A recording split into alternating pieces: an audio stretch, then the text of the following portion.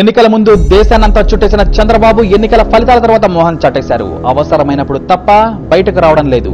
ఇక నిన్న మొన్నటి వరకు కూడా గవర్నర్ అంటేనే కసుబుసలాడిన చంద్రబాబు హఠాత్తుగా ఆయన దగ్గరకు పరిగెత్తడానికి కారణాలు ఏమై ఉంటాయా అని పార్టీ నేతల్లో ఇప్పటికే చర్చలు జరుగుతూ ఉన్నాయి. టీడీపీ అధినేత నారా చంద్రబాబు నాయుడు ఈసారి ఎన్నికల్లో ఘోర పరాజయ పాలైన సంగతి అందరికీ తెలిసిందే. ఈ నేపథ్యంలో పార్టీ నేతలని తప్ప ఎవరిని కలవడానికి ఇష్టపడిన చంద్రబాబు తెలుగు రాష్ట్రాల గవర్నర్తో సమావేశం అవడంపై పలు అనుమానాలు వ్యక్తమవుతున్నాయి. ఇక తాజాగా రాజ్భవన్లో గవర్నర్ని కలిసిన చంద్రబాబు ముప్పై నిమిషాలకు పైగా ఏకాంత చర్చలు జరిపారు. చర్చ అనంతరం రాజ్భవన్ నుండి బయటకు వచ్చిన చంద్రబాబు మీడియాతో మాట్లాడకుండానే వెళ్ళిపోయాడు ఇక ఆయన బయటకు వచ్చే విధానాన్ని చూస్తుంటే లోపల ఏదో కీలక అంశాల చర్చల కోసమే చంద్రబాబు గవర్నర్ని కలిసినట్టు పలువురు భావిస్తున్నారు ప్రతిపక్ష నేతగా తొలిసారి గవర్నర్ వద్దకు వచ్చిన చంద్రబాబు ప్రజా సమస్యలపై రాలేదని అలా వచ్చి ఉంటే మీడియాతో మాట్లాడేవారని విభిన్న కోణాల్లో ఆసక్తికర విశ్లేషణలు సాగుతూ ఉన్నాయి.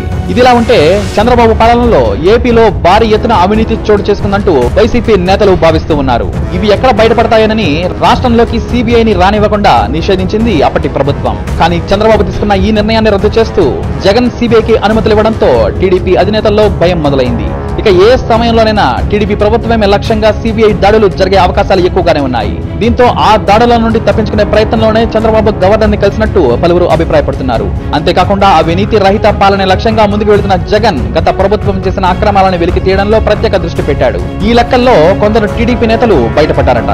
మరి జగన్ దూకుడు మరింత పెంచేశారు. అందుకే చంద్రబాబు గారు గవర్నర్ వద్దకు పరుగులు తీశారు అంటూ విశ్లేషణలు సాగుతూ ఉన్నాయి. మరోపక్క అవినీతికి పాల్పడిన నేతలే చంద్రబాబును పంపించారంటూ వార్తలు వెలువెత్తుతున్నాయి ఏపీ అసెంబ్లీ ఎన్నికల్లో ఓటమి తర్వాత తన రాజీనామా లేఖను పంపిన చంద్రబాబు అప్పటి నుండి గవర్నర్ని కలవలేదు. ఈ నేపథ్యంలో మర్యాదపూర్వకంగానే వారిద్దరూ సమావేశం అయ్యారు అంటూ టీడీపీ నేతలు చెప్పుకొస్తూ ఉన్నారు. కానీ వైసీపీ నేతలు మాత్రం ఇందుకు విరుద్ధంగా చెబుతూ ఉన్నారు. మంత్రివర్గ కూర్పు సిద్ధం అయిన వేళ చంద్రబాబు గవర్నర్ భేటీపై పలు అనుమానాలకు తెరపిస్తూ ఉంది. మరి చంద్రబాబు గవర్నర్ని ఎందుకు కలిశాడు?